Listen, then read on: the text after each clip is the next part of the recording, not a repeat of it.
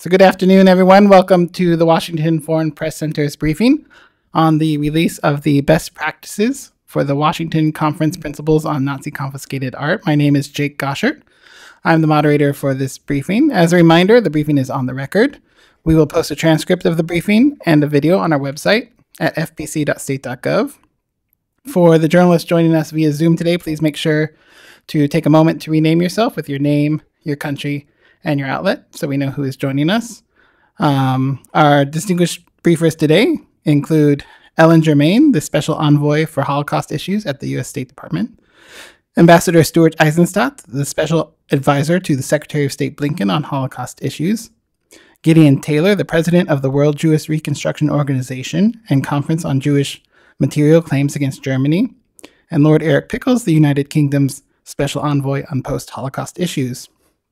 Before their opening remarks, one quick reminder views expressed by briefers not affiliated with the Department of State are their own and do not necessarily reflect those of the Department or the U.S. government. Um, with that, I'm going to turn it over to Envoy Germain to begin us with some opening remarks. Okay, thanks very much, Jake. This is on and working, yeah, okay. So um, I want to talk about, uh, this morning we held an event at the U.S. Holocaust Memorial Museum to mark the 25th anniversary of the Washington Conference Principles on Nazi Confiscated Art. And uh, the purpose of this was to provide some momentum to the process of restitution and compensation for art that was seized, looted by the Nazis from Jews and others during World War II. And unfortunately, almost 80 years since the end of World War II, um, that process of restitution and compensation is still unfinished. And so one of the big things we did this morning was we introduced a best practices document, best practices for implementing the Washington principles. And that document, the best practices, is the result of some very intense international collaboration among countries that have appointed a special envoy or its equivalent, like myself and like my colleague, Lord Pickles of the UK, um, someone to deal specifically with Holocaust issues. And as of this morning, we had 22 states endorsing the best practices document, and we are continuing to encourage other countries to do so. And so this informal uh, Special Envoys for Holocaust Issues Network was started in 2023 by the World Jew Jewish Restitution Organization, um, the, United, the United Kingdom, and the US um, to try to deal more effectively with remaining issues of Holocaust era restitution. And um, in our first two meetings, which were last year in London and then here in Washington, um, we decided to take the landmark 1998 Washington Principles as a starting point and think about what we could do to try to reinforce their importance and their utility. And so we thought it would be useful to examine the lessons learned in the last 25 years of applying the Washington Principles and try to develop a set of legally non-binding best practices that would help implement these fundamental and timeless principles of art restitution. And that seemed like a really appropriate way to mark the 25th anniversary of the Washington Principles and to highlight how important it is to resolve remaining claims. Because restitution and compensation for property that was seized by the Nazis um, matters not only because it can provide a measure of justice for Holocaust survivors and their heirs, but also because it shows perpetrators that there are consequences for their actions. And so making sure that there are processes and that there are widely accepted principles for implementing restitution and compensation is the real world application of rule of law to those who used anti Semitism as an excuse to murder six million Jews, as well as to perpetrate the greatest theft in history. Thanks.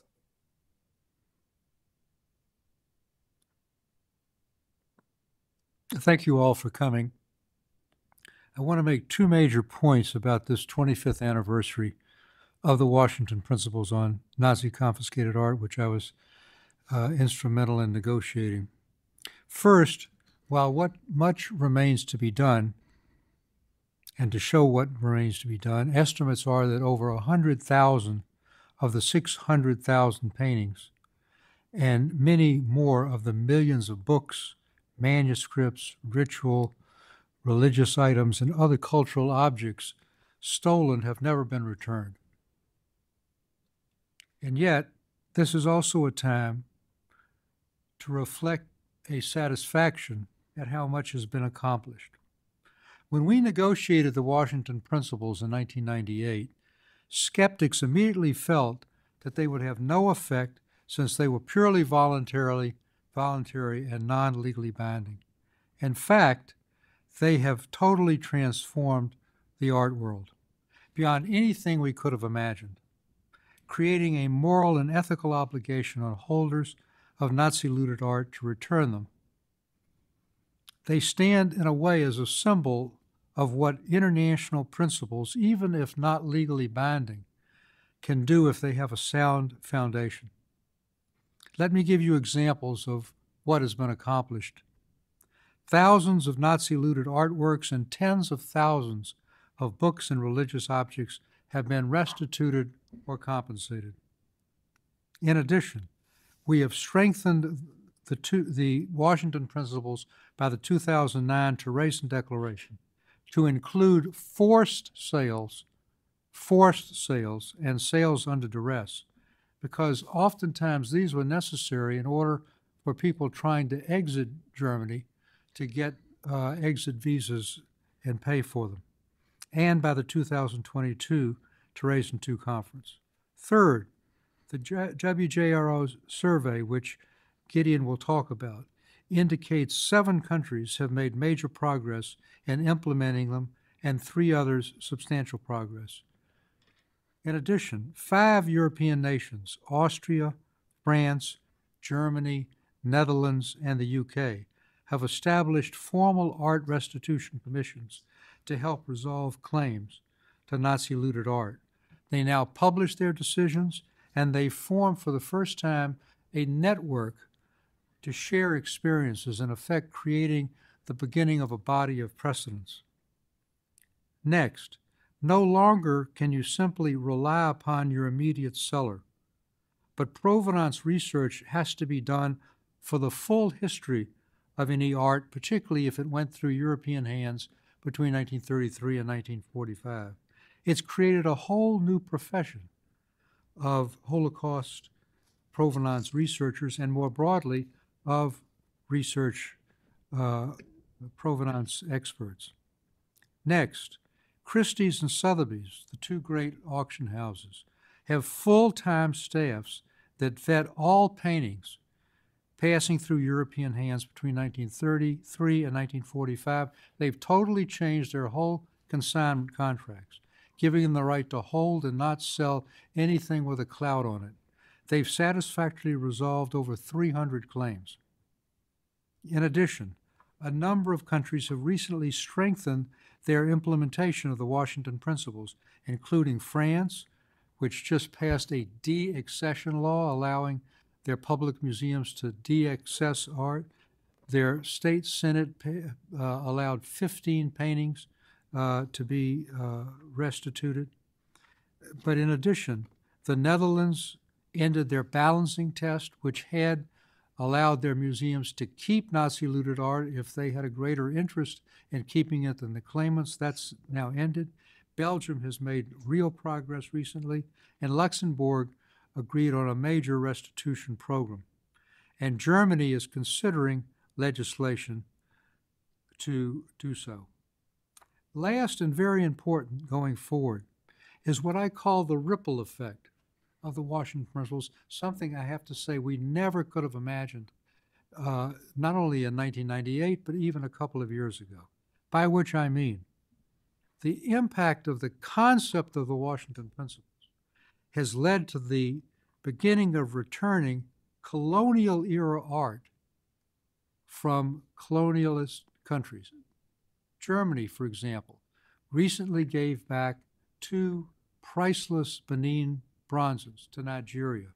France has set up a special office and the Prime Minister's office to look at their uh, colonial era work, uh, possessions, and so have the Netherlands.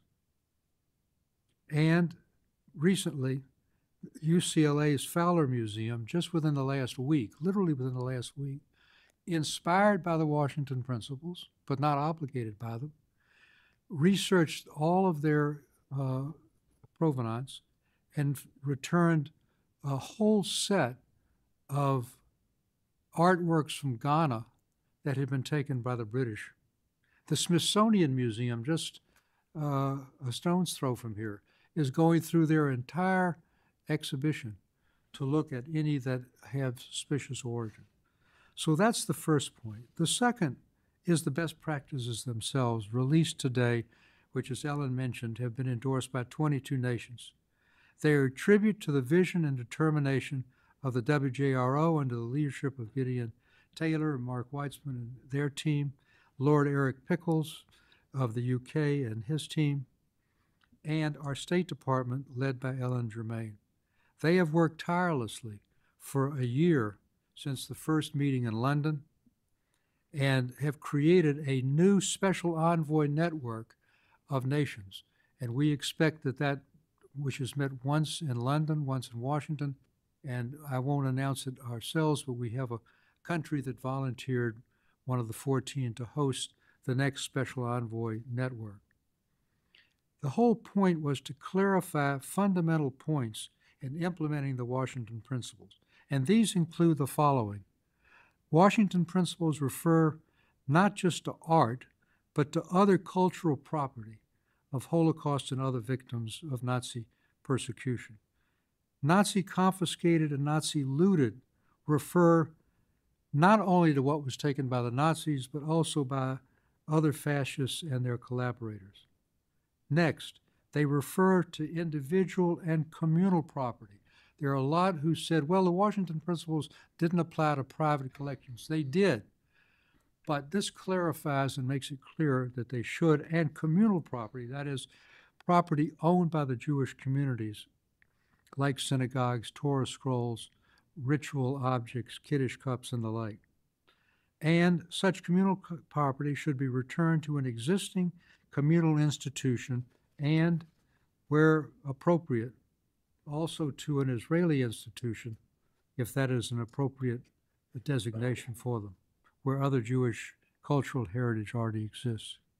In addition, the best practices indicate that countries should consider reducing barriers to recovery from accession laws, statute of limitations, laches, and other restrictions. They recognize the best practices that provenance research is seminal to the entire process and must be more strongly supported. Gideon, I'm sure, will go into detail about this. And the key phrase in the Washington Principles just and fair solutions.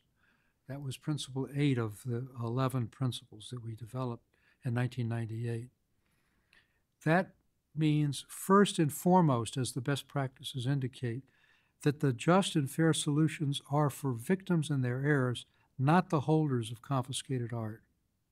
The primary just and fair solution should be restitution, although there can be other creative ways compensation, long term loans, and the like. So, the long and the short of it is that these best practices released today underscore our strong and continued commitment to accelerate our progress in implementing the Washington Principles and will add momentum to doing so. Okay, thank you. I'm privileged to be here with uh, um, folks who've played such a major role uh, in this issue. Um, I think a couple of points I just wanted to make briefly. Firstly, I think what's particularly important about this issue of art and cultural property is that it's not just about the very well known, world renowned uh, paintings hanging in major museums. This issue is about ordinary items, small things, an etching, a drawing, uh, a shofar, a Torah scroll, uh, everything that went into the culture of the Jewish people. Um, the report that was issued today uh, by the World Jewish Restitution Organization and the Claims Conference, and we'll ask Jake to make sure that that's available to you if you haven't seen it, and we're going to circulate, circulate the link to it. Uh, just very quickly, five main general findings. Firstly, that most countries have carried out at least some historical research, so we certainly know a lot more than we did. Secondly, the provenance research on individual items has grown greatly and become more advanced. However, museums in many countries continue to ignore the need for provenance research, and in most countries, it's still not seen as an essential part of museum practice. Thirdly, the claims processes are now in place in many countries, but the numbers of cases handled and the resulting restitutions remain low. There are, um, as Stu mentioned, five countries that have established uh, restitution commissions, but most have not. Um, fourthly, um, the Washington Conference principles have focused, um, as you heard, on public collections, far less progress relating to items that are currently in private hands.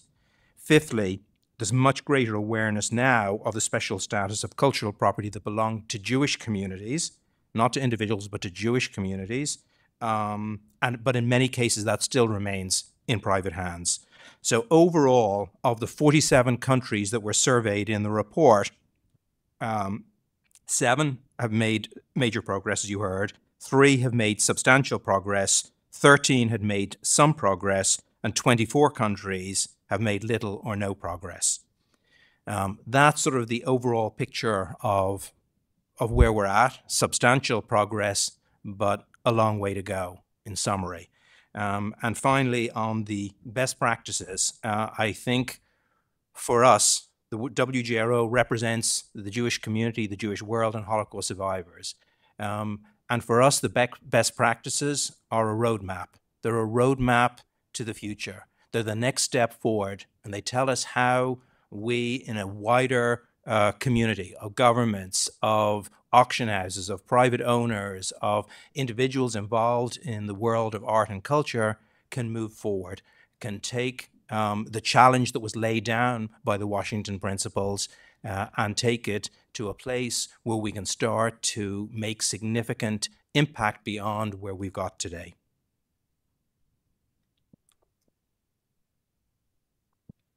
Well, good afternoon. Um, my name is Eric Pickles. I'm delighted uh, uh, to be here. And I think you need to understand that these, uh, this confiscation, this looting, wasn't a byproduct of the Holocaust, it was a fundamental part of the Holocaust.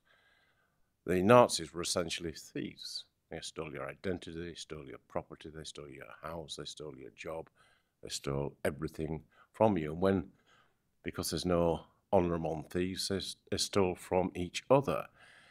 And we should bear in mind that this was um, an important part of the Nazi economy, street auctions and the like.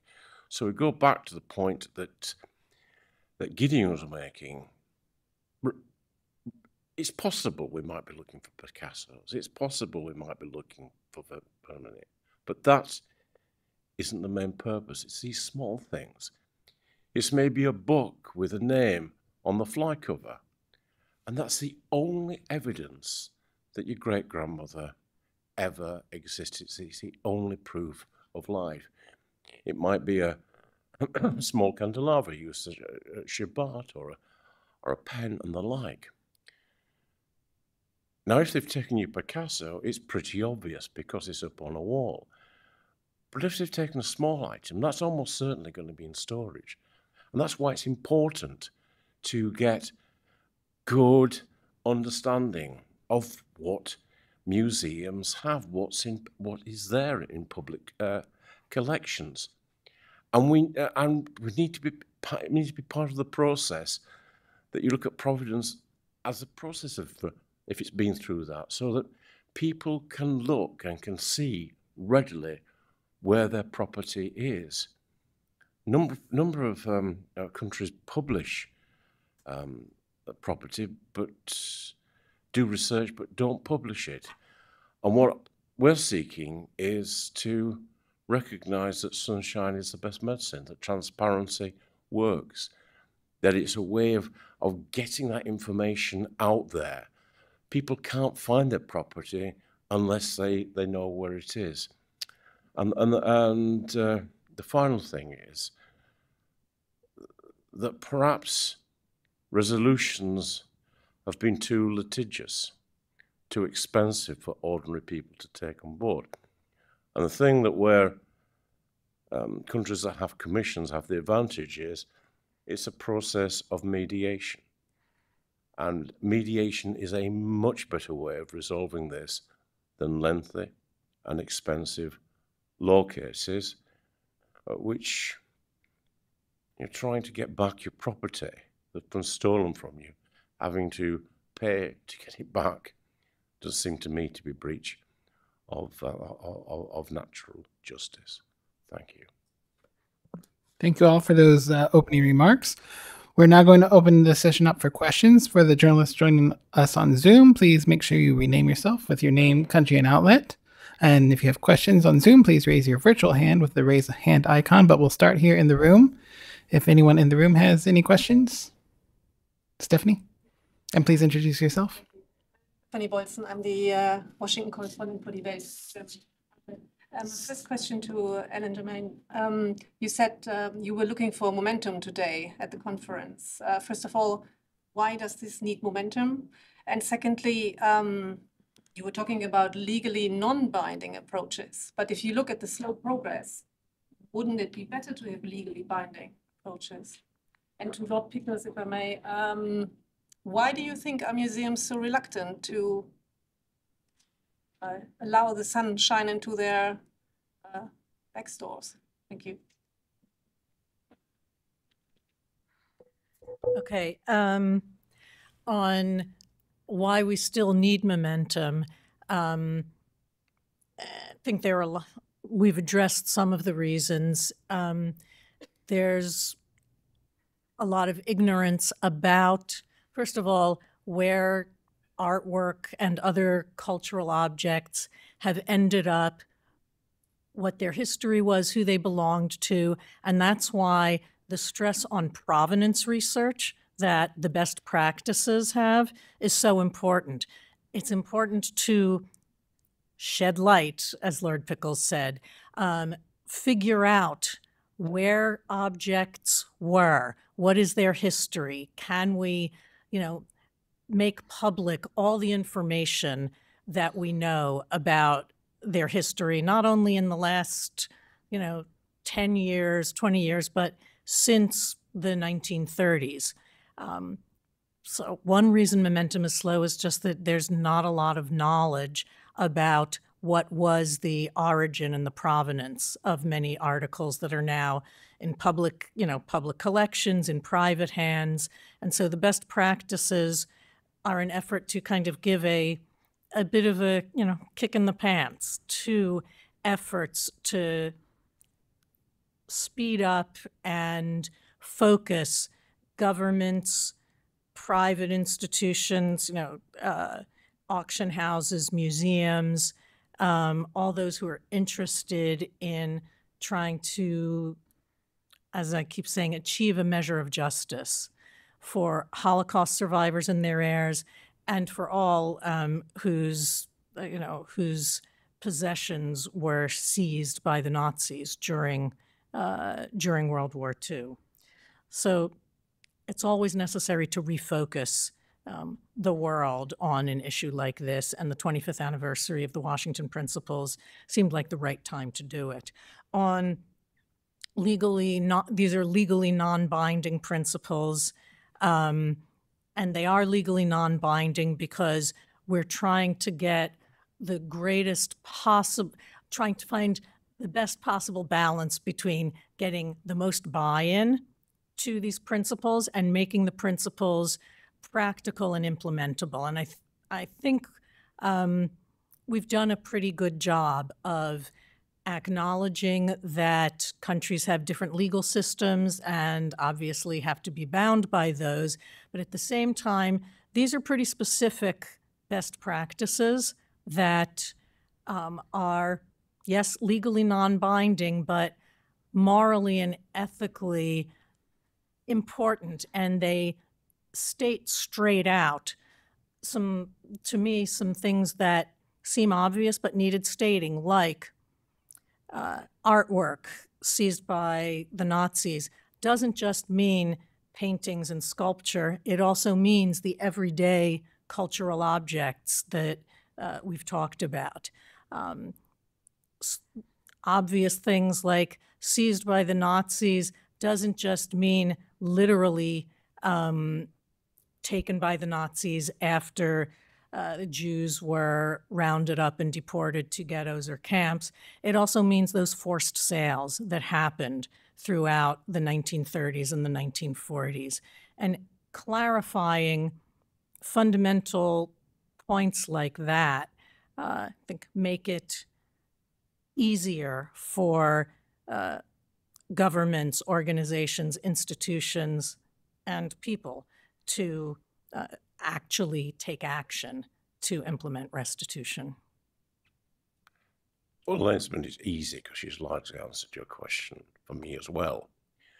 But we we need to understand that quite a lot of this stuff um, is there in plain sight. It's hidden in plain sight. It's there, and often you might even find references to the fact that it was uh, it was it was uh, looted. So why don't people sort of get with the program and say this is a wonderful thing? Well, it involves a lot of work. It's very difficult, and you get the guy coming up from accounts and the guy from the legal and saying, you know, we've got stolen property.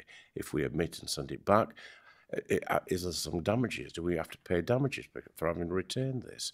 And that's why the le- the non-legal binding is really good because mediation is a good way of resolving that. And remember, we're not always looking for the return of the property. We could be just looking for something simple as a plaque going up to say where the property came from. It could be that we might look for some kind of uh, of of compensation. Mediation gives a lot of flexibility that litigation doesn't, and it's, I think it has proved to be very effective in those countries that have it. I hope that answers your question. Let me give a very practical answer. I couldn't have negotiated it if it was mandatory. After a three-day conference, when the last plenary was about to start, it looked like the whole process was going to collapse because countries did not want the imposition of mandatory restitution on their national laws. And so by making it non-binding, uh, we were able to overcome those objections. Now, that led skeptics to say, well, it'll have no effect.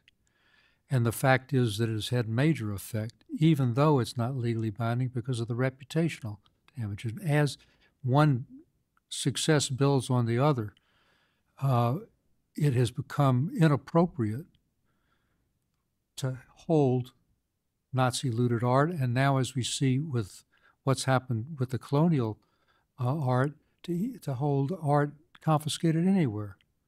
So the more visibility, the more transparency we can give, which is what uh, we're all saying is critical from the best practices, the more reputational uh, damage is done to those museums and those private collections that are holding looted art. No one should want to hold something that was looted from Holocaust victims and other victims during the war, or looted e- even more generally. And so this was a practical judgment, and it turned out to be the right one. Philippe de Montebello, who was then the head of the New York uh, Metropolitan Museum, said at the time at the plenary, notwithstanding the fact that it's not binding, it will change the art world forever, and he was right. just to add one sentence, um, this these these uh, best practices are not legally binding, but we believe that what the statement of principle of international consensus will enable us as WJRO, as the claims conference as regards Germany, to seek specific actions, policies, including legislation.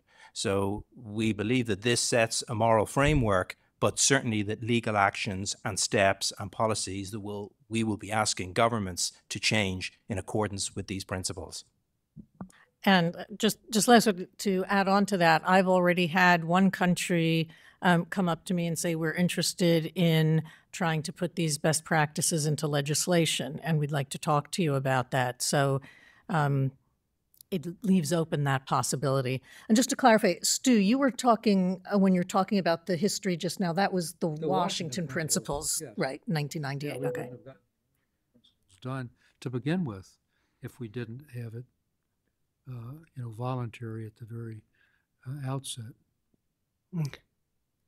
Yes, Karen. Foreign Policy magazine. I have two questions. The first is, the, is to, you mentioned private hands. What is the problem there? Is it ignorance, shame, money? Question number one. Question number two is some kind of a maybe a roadmap or blueprint for what's going on now, like looting in Ukraine, that there would be this awareness in, in future of how to deal with problems. One of the things that I mentioned, I, I'm going today. Uh, and that Ellen and the State Department have emphasized is that as we speak, uh, the Russian uh, invasion and aggression against Ukraine has included uh, the destruction of Ukrainian cultural objects and, and, and art. So this is going on as we speak. It's very live, even though Russia's actually uh, uh, signed on to the Washington Principles in 1998 and were one of the few countries that passed legislation dealing with it, signed by none other than Vladimir Putin. They just haven't implemented it. But that's is, this is going on right now as part of the war. And I think what Lord Pickles said was so important. It's really important to understand that the confiscation of art, bank accounts, insurance policies, ritual objects, homes, businesses were part and parcel of the Holocaust. They were not incidental, they were not accidental, they were done with the same systematic effort as the killing of people themselves because the purpose was to destroy the Jewish people root and branch, all aspects. Uh, and so you have to look at the confiscation of art and other property in that context. It was not just incidental. And a significant part of the war effort, uh, Ellen alluded to this, uh, by the uh, Nazi Wehrmacht was financed with Jewish and other victim assets. Just to answer your question specifically for private property, I think two reasons. One, ignorance, and two, unwillingness. Uh, and I think what this best practices seeks to do is to address both of those. To press for uh, transparency, publication of records, uh, making available of dealer records of dealers, auction houses, and so on is addressed in the best practices um, and also claims processes to make sure that individuals, once they have awareness, once there is this knowledge, have a process uh, to move forward. So that's what lies behind this uh, effort to open up uh, what has been a rather opaque um, market. The art market tends to operate in sometimes uh, with limited transparency. Um, I think that's a key part of the best practices is to open that up um, for to give information and transparency and to create a way for people to be reconnected with their cultural treasures. Yes, Paul. Telegraph. Um, as I understand also from, from Secretary Blinken, there are like uh, millions of, of- objects of art still un- unaccounted for or not, not given back. Is, is there um, a, a figure of how many of those objects are actually known where they are, but have not been given, given back? Uh, for instance, uh, in, in our museums, the, a big part in, in that, that's, that's one of my questions. And the second one, being from the Netherlands, is there anything that, as I understand, the, the, the Dutch government has made some, some remarkable steps, but is there anything else they, they didn't do yet that you would recommend that uh, the Dutch government uh, still has to, to make progress? Thank you. So on the numbers, uh, the best estimates from experts are that 600,000 works of art were stolen. Um, the best of those were to be in a Führer museum in Linz, Austria, which was Hitler's birthplace. Uh, in addition, on cultural objects, the, the most precious were to be in a museum to a dead race in Prague. Of the 600,000, the so called monuments men, the art curators uh, who were embedded into the U.S. Army as they went east to Berlin, uh, got around 100,000 of those pieces, cataloged them, and then under uh, direction of President Truman in a military order, return, repatriated them not to the individuals who owned them, because in the chaos of war it was impossible to know, but to the countries from which they were taken, and they in turn were supposed to deal with. So, for example, in France, some 60,000 paintings were repatriated. Of that 60,000, around 45,000 were ultimately returned to owners, but the balance uh, were sold, auctioned, or put into their MNR collection. So, what happened just within the last couple of months is when the French Senate uh, de accessed 15 artworks, that was part of the so called MNR collection. The same thing happened in, in the Netherlands and, and, and in other countries. Now, again, it is estimated that there are another 100,000 unaccounted for of that 600,000, and even more of books and ritual objects and, and the like. Uh, it's, it's impossible to know the location of those, and that's why everyone has said, Lord Pickles and Gideon and Ellen, that the key is transparency and provenance research. It's letting people know where they are so that they can potentially make claims. If there's no provenance research done, there's no way for a potential heir to know to even make a claim.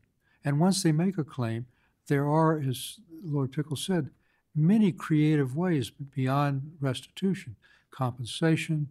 Uh, in in the Searle case in Chicago, the University, the Chicago uh, Art Institute, of a famous painting, uh, one of the solutions was that the uh, museum paid part of the value, and the original owner, the heir of the owner, allowed the museum to keep the balance. So there are all sorts of creative things that can be done.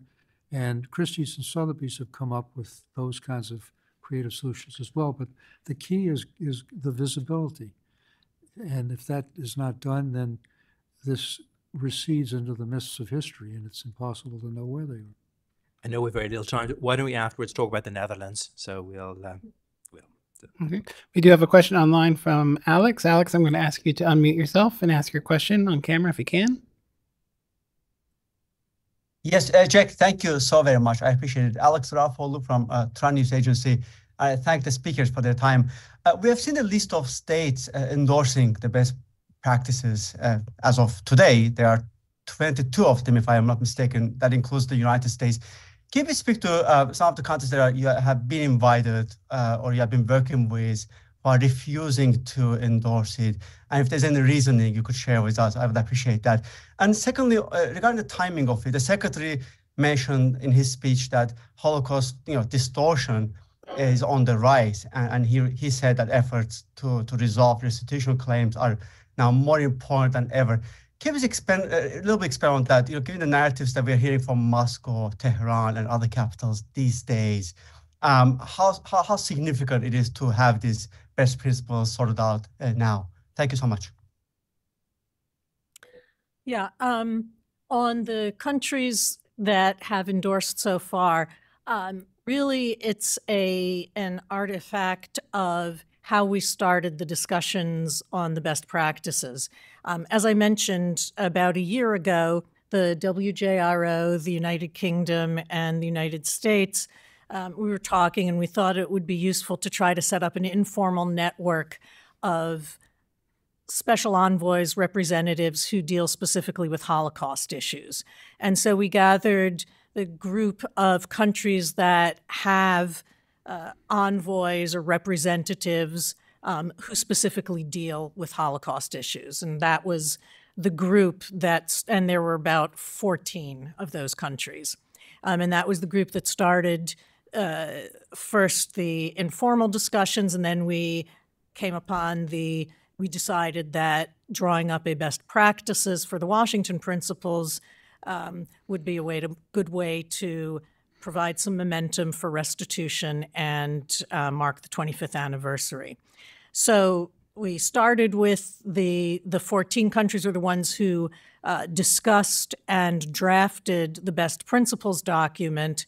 Um, but once we had all reached agreement on that, um, we of course want as many countries as possible to endorse it. We don't say sign, et cetera, because as we've said a number of times, it's legally non-binding. But um, the best practices provide really helpful guidelines, practical uh, definitions of how to go forward with art restitution. So there's still it's still open for endorsement. Um, we are hoping and expecting that more countries will endorse the best practices in the coming days and weeks.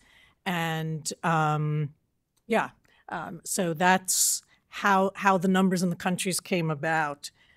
Um, and I think Oh, and then the other, the other que, the, your second question was why is distortion um, such an issue now and why is it important in this context? And I think, again, it speaks to what we've been talking about as far as transparency, openness, and telling the truth. I mean, we need to tell the truth about what happened, where items came from, what their history was, how they were stolen, how they were seized.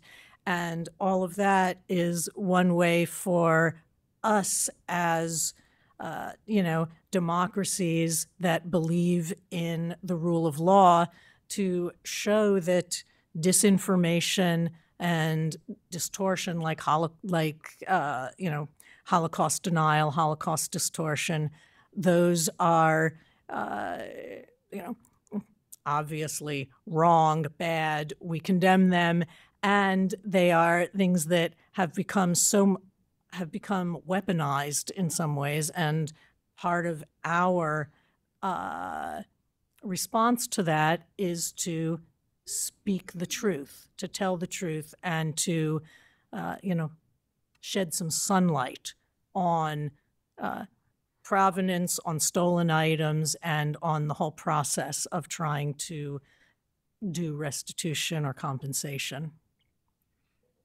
Okay. And seeing no more questions, we'll go ahead and end the Q&A session there. I'm going to turn it over to our panelists now for any uh, last thoughts. We're starting here with the Special Envoy Germain. I feel as though I've I've pretty much said everything that uh, I was hoping to say, just to say that this is the start of a process. Um, uh, this is indeed um, the best practices document is not an end, it's a beginning to um, provide momentum, provide that, that push to uh, all of us to do better on restitution and compensation for artwork, cultural objects that were stolen during World War II, and to find the creative solutions that allow survivors and their heirs to receive some kind of acknowledgement that this great wrong was done. I think that the way to look at this is that we went 25 years taking uh, voluntary non-legally binding principles and really giving uh, flesh to them, having a lot of progress. Uh, but we realized that we needed a new burst of momentum. And the 25th anniversary gives us that opportunity. This should be looked at not as a sprint, but as a marathon. And we are dedicated to run that marathon as long as it takes to do more and more justice.